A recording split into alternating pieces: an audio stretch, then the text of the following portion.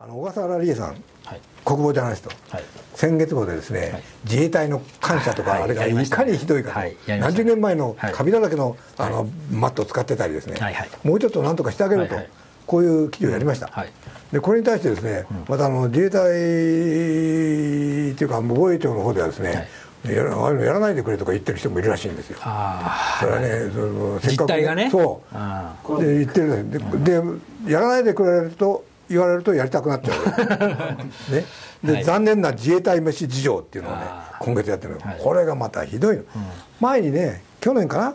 その僕はねあの自衛隊の人がね、うん。基地内でね、はい。ちょっと飯ね、あの食ったらね、あの懲戒になったという記事が新聞に出たんですよ。あ出ました出ました。ね、はいはいはい。でなんだと、飯ぐらい食わしてやれよと、はいはいはい。こう思ってたわけですよ、はい。飯をちょっとさ、横に食ったっていいじゃないと、はい。はい。こう思ってたんですけど、これは本当にひどい状況なんだよ、飯は。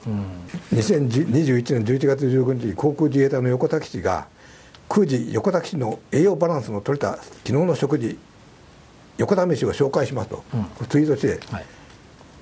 炎上したんだ。はい。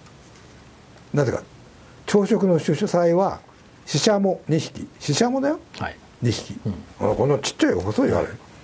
昼食は麻婆ナス夜食はサバみりん干し焼きとある、食事のメニューはともかくおかずの分量が少なすぎる。とても体力のより自衛隊員がこの食事で十分だと思えない。そうだろお前、はい。朝ししゃも2匹昼麻婆ナス、夜サバみりん干しだよ。うん。これじゃ老人の食事でしょと。そうですね。いつもこんな質素な食事なんですか。これで栄養つきます。力出ますか。って刑務所のご飯より質素な感じが。今河合さんがあのうちにあのうん獄中日記連載してますけど、はい確かに刑務所の方がいいかもな。はい。この量で隊員さんは十分なのでしょうか。ご飯のおかわりはできますか。自衛隊は残念自衛隊員は残念そうに小笠原さんにこう答えた。基本おかわりはできませんね。白米だけは茶碗が大中小と用意されているのでまあ十分な量を食べられます。自衛隊では白米のみに限ってはいっぱい食べられる仕組みですとにかく1回300円程度にしようという制約があるらしいんだけどこれどうなんだろう、ち俺もなんょっとダメでしょう。ね、はい。多分米軍はもっと食ってますよ。ああいや食ってる。それは後で出るのそれでね、はい。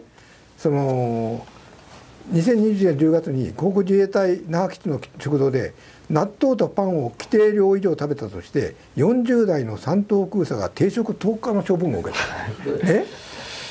だってね、はいこの人はですね朝寝坊をして十分に朝食を取れる時間がなかったためご飯を減らしてパンも取ったと。自衛隊ではパンとご飯の両方を食べると厳罰なんだと、はい。これで定食10日だよ。ひどくない？これ。ひどいです。うん。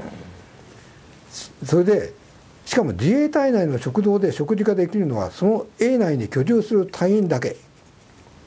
基地の外に住む営外者は事前に申請して認められた場合は料金を払って喫食できるだから自衛隊内には指揮官となる幹部自衛官がいるが彼らは営外勤務者なので基地の基地や駐屯地内での食堂では喫食する権限権利がない、でひどいのはさ自衛隊員がね、はい。北海道の自衛隊がじゃあ熊本で災害が起こったからって行くでしょ、はい。ね、で車で行くわけだよ、はい。本当は飛行機で行けばいい,、はい。いいっていうか、まあ、早くないんだけど、はい。車で行くんだよ。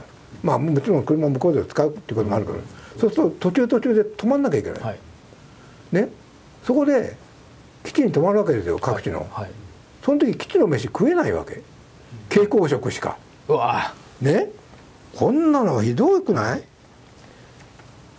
このような突発的な移動では蛍光食しか食えない。長距離移動で疲れた自衛隊たちは皆中継地内の食堂を横目に見ながらレトルト蛍光食を食べることになると。はい。これであんたその行った先でまた重労働が待ってるのにさ、ね。やれますかと、はいひどいだろこれ、はい。っ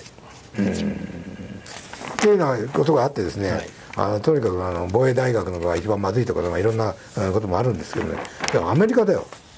はい。第一米軍の食堂では健康上の理由で食事指導を受けている場合を除きビュッフェ方式で食べたいものを欲しいだけ取ることができる。